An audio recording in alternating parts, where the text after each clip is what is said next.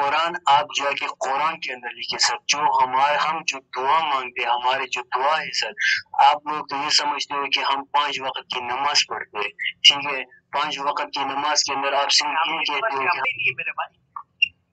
एक minute sir मैंने आपको बताया ना कुरान जो हमारे हाजिर मौजूद इमाम है अभी। हाजिर मौजूद इमाम है और कुरान भी है। कुरान से रिलेटेड हमारे हाजिर मौजूद इमाम की बातें सुनी।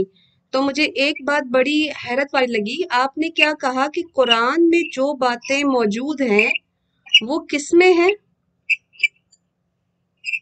वो हमारे हाजिर मौजूद इमाम के अंदर है जो भी बातें हो रही है अच्छा। उसके रिलेटेड है। उसके अंदर हो रही हैं तो अद... वो तो आप ज़ाहिर की हम्म, जो आप बात कर रहे हो की ज़ाहिर के अंदर आप बातें कर रहे हो। नहीं नहीं नहीं। में ये पूछ रही हूँ कि आप हाजिर इमाम को इमाम मानते हैं कि खुदा मानते हैं? हम इमाम मानते हैं। हमारा इमाम है मौजूदा इमाम। अच्छा। क्योंकि हमारे इमाम की उनचासवा इमाम। क्योंकि पैतालीस इमाम हमारा गुजर चुका है ये हमारा उनचासवा इमाम है हाजिर मौजूद इमाम। अच्छा हाजिर और मौजूद इमाम।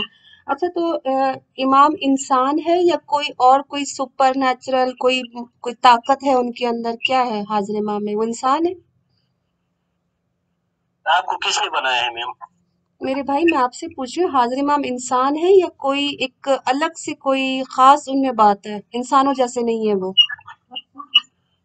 चलो मैं आपसे कुछ पूछता हूँ। भाई मेरे सवाल का जवाब तो दे दो ना। मैं तो बैठी हूँ आप बिल्कुल सवाल पूछिएगा। अभी थोड़ा मुझे क्लियर तो करो ना। चलो आप आप मेरा वाला जवाब दे। चलो मैं आपसे पूछता हूँ। मेरे भाई हाजिर इमाम इंसान है ना कि नहीं है? फिर क्या है मैम? आपको क्या दिखता है? मैं आपसे वही तो पूछ रही हूँ हाजिर इमाम इंसान है ना? फिर तो आप नहीं खा सकते। क्योंकि आपके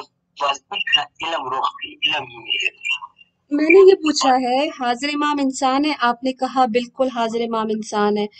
तो मैंने इंसान की ही एक क्वालिटी बताई है कि अगर मैं इधर बैठी हूँ तो क्या आप बगैर किसी ज़रिए के मेरी बात सुन सकेंगे हाँ या ना? मैं तो नहीं सुन सकता हूँ नहीं सुन सकते तो आप हाजिर इमाम इंसान है ना तो वो कैसे सुन लेते हैं आपकी दुआएँ बगैर किसी फ़ोन कॉल के? आप लोग सबसे पहले कौन सी आ गया दोबारा लीजिएगा, इसकी कॉल अच्छी है वैसे।